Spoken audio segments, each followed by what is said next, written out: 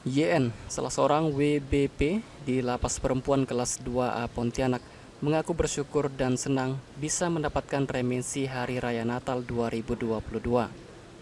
WBP kasus tindak pidana korupsi ini menyebut sejak menjalani masa hukuman selama enam tahun enam bulan, baru pada Natal tahun inilah mendapatkan remisi.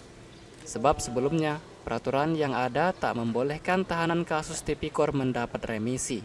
Pastinya senang ya karena baru pertama kali tipikor pidana khusus itu mendapatkan remisi dari aturan yang baru.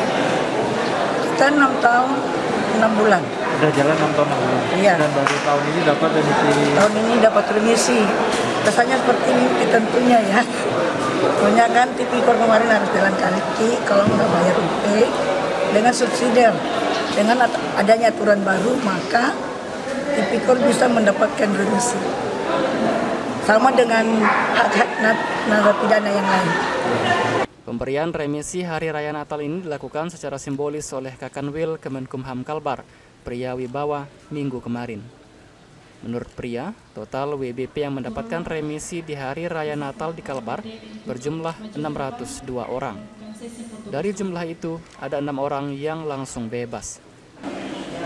602 orang itu terdiri dari RK1 atau pengurangan ya, belum bebas murni yaitu 15 hari sebanyak 145 orang, satu bulan 399 orang, satu bulan sampai 15 hari 42 orang, dua bulan 16 orang.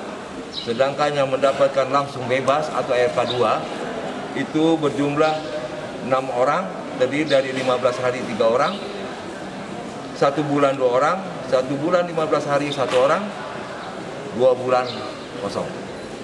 Kadip Pemasyarakatan Kanwil Kemenkumham Kalbar, Ika Yusanti, menambahkan selain 602 WBP tadi, ada juga enam anak di Lembaga Pembinaan Khusus Anak yang mendapat remisi.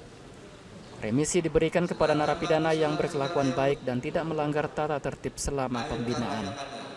Kurangan masa pidana itu atau remisi itu sangat diharapkan oleh warga binaan. Maka ini adalah suatu eh, reward atau satu bentuk motivasi agar narapidana selama menjalani eh, pembinaannya di dalam lapas, di dalam rutan, LPKA, LPP semua menjaga perilaku tidak melanggar ketentuan, tidak melakukan hal-hal yang melanggar tata tertib atau melakukan tindak pidana baru sehingga setiap hari raya Natal atau hari raya keagamaannya masing-masing dan setiap remisi umum tanggal 17 Agustus dia mendapatkan hadiah pengurangan masa pidana.